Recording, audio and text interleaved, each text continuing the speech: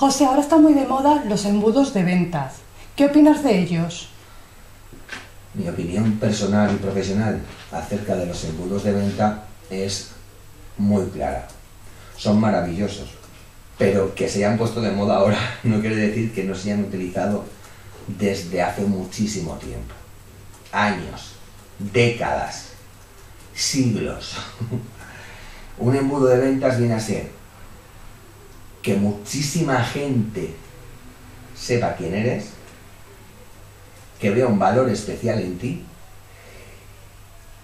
que te visite y que de un montón que vengan, tú le des presupuesto por tu servicio y muchos digan no y pocos digan sí.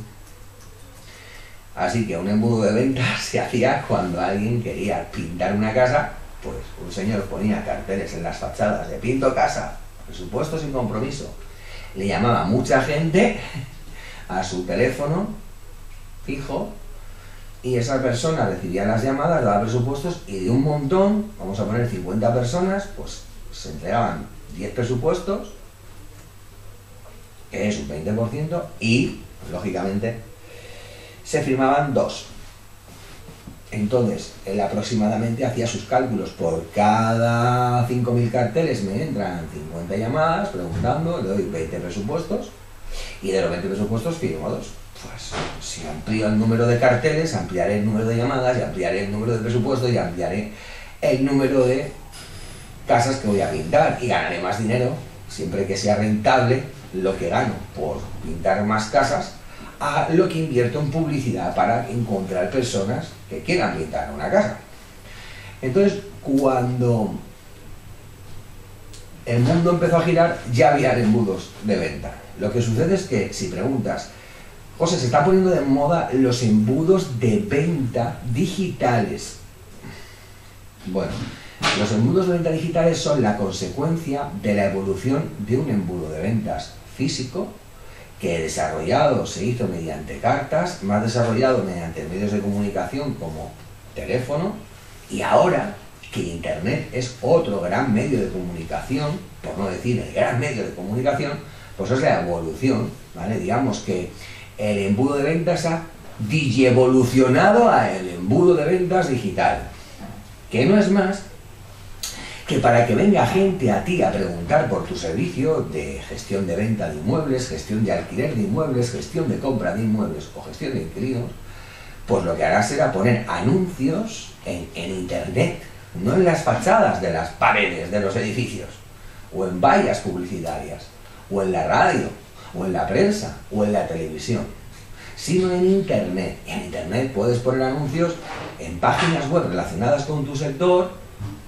que visitan personas que están interesadas en el sector inmobiliario, pues puedes poner anuncios en blogs, pagar a cada blog, porque cada día salga un anuncio de tu empresa y recibir personas que han visitado esos blogs, algunas irán a tu página web, a la sección que tú quieras dirigir, pues a la de venta de inmuebles, para poder captar pisos que se venden. Luego tienes que hacer un anuncio enfocado a llamar la atención a gente que quiera valorar su vivienda para saber cuánto vale y venderla. O a gente que la esté vendiendo y la quiera vender ya, urgentemente.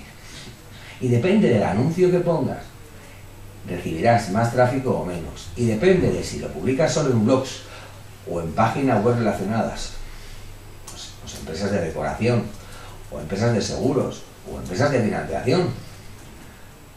La realidad es que las páginas web más efectivas son las redes sociales, ¿no? O sea, poner un anuncio en la red social de Facebook y pagar a Facebook para que lo divulgue a miles o millones de personas va a hacer que mucha gente vaya a tu página web. Y lo mismo ocurre si pones el anuncio en Google. Te va a llegar muchísima gente a tu página web. Tanta gente como tú quieras. Porque la ventaja aquí es que tú puedes decir, quiero que este anuncio alcance a mil personas. Luego, veamos de esas mil personas, quien pulsa el anuncio, según el dibujito de la imagen, el texto y el título que has hecho, pues habrá más gente o menos, luego tendrás que hacer pruebas. Igual que hizo pruebas el pintor que puso carteles y se dio cuenta de que si los carteles, en lugar de en folios blancos, eran en folios amarillos fosforescentes, llamaban más la atención que los carteles de otras empresas de pintura que también pegaban carteles en las fachadas. Entonces, date cuenta que no eres la única persona que has pensado en hacer embudos de venta digitales. Y claro, cuando te pones a ello, hay otras empresas que lo hacen y hacen sus anuncios y contratan empresas publicitarias, como cuando tú contratas a una televisión para hacer un anuncio, te mandan a sus empresas relacionadas de publicidad para que hagan el anuncio acorde a la ley y sobre todo porque son sus empresas de confianza, pues ocurre lo mismo con Facebook y con Google y con Instagram y con todas las redes sociales se consigue tráfico para tu página web de manera gratuita, publicando en tu muro y si tienes muchos seguidores lo verán, muchos suscriptores, en el caso de YouTube, si tienes un canal de YouTube y tienes muchos suscriptores, pues esas personas cuando mandes un vídeo de chicos, tengo un inmueble, pues la gente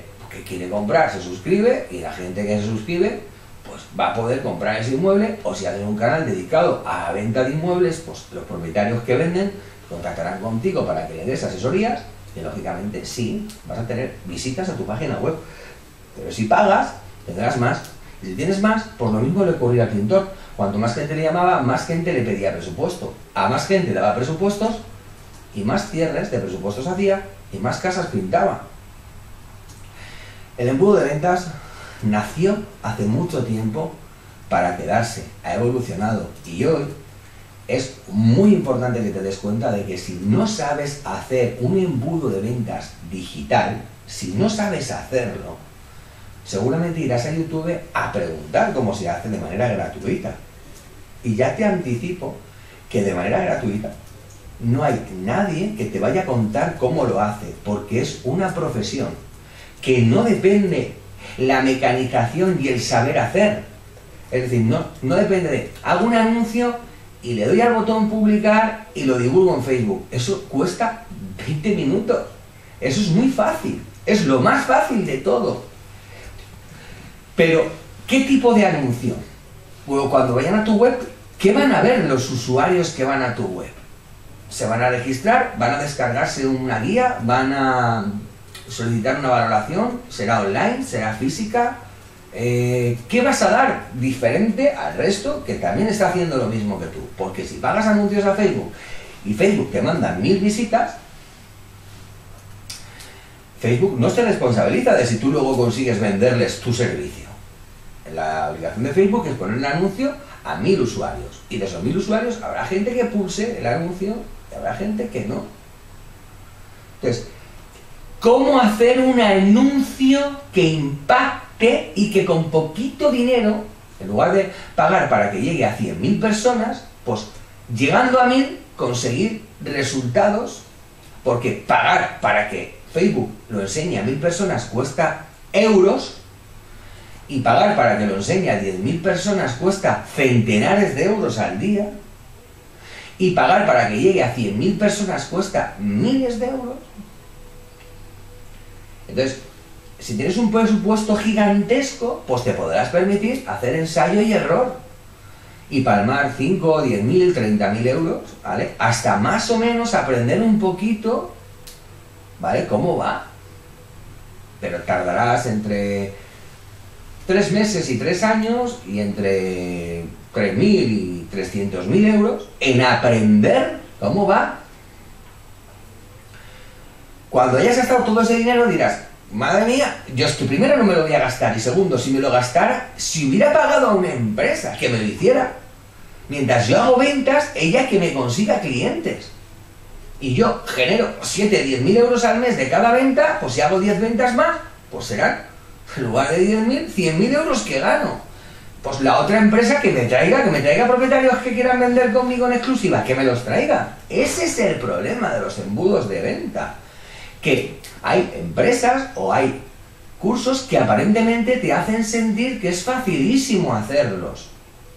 Pero los embudos de venta digitales tienen una complejidad importante, inmensa, ya te anticipo que un curso de marketing digital de Facebook o de Google el de Facebook te puede costar desde 500 euros hasta 5.000 euros y el de Google te puede costar desde 500 euros hasta 5.000 euros y te gastes 500 euros en un curso digital o te gastes 5.000 euros en un curso digital más bonito ya te anticipo yo que después tendrás que hacer una inversión publicitaria en ensayo-error, ensayo-error, ensayo-error, ensayo-error, hasta encontrar tu público objetivo y encontrarlo quiere decir que cuanto más ensayo y error, a más gente de tu público objetivo le habrás mandado un anuncio con un mensaje erróneo que ya cuando le vuelvas a mandar otro, pues no tienen la misma respuesta ante tu marca. Así que malgastarás los seis disparos que tiene tu pistola y acabarás con la última bala disparando y ¡pum! Acabo de perder todo el dinero en publicidad y no me queda margen de maniobra para hacer más publicidad y acabarás volviendo a los métodos tradicionales. Los embudos de venta digitales tienen una complejidad. Hay que agradecer muchísimo a las personas o empresas que dan clases de este tema.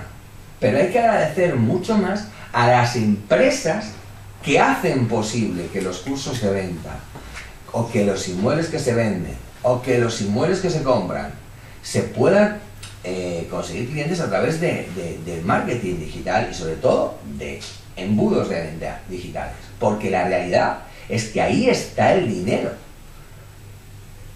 En la publicidad. Y si un euro lo inviertes bien o lo inviertes mal es decisión tuya. Y si quieres hacer pruebas y experimentos, hazlas. Pero vas a perder tiempo y dinero y sobre todo vas a tener mucha frustración. Espero haber respondido cuál es mi opinión referente a los embudos de venta. Un abrazo y hasta el siguiente video tutorial.